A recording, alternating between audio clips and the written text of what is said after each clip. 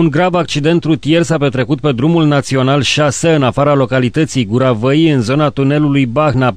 Potrivit inspectoratului de poliție al județului Mehedinți, în accident a fost implicat un singur autovehicul condus de un șofer de 30 de ani din Orșova.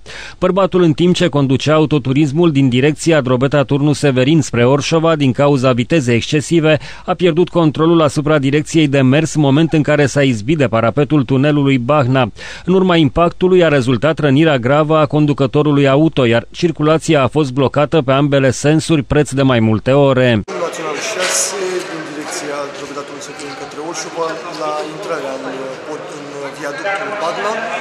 Un conducător auto a pierdut controlul asupra direcției de plasare, lovind capul de pod. În urma accidentului a rezultat o mai populară acestuia, care a fost transportat la spitalul județean. La momentul actual se continuă cercetarea la fața locului pentru a se stabili cauzele și reproducerea accidentului rutier.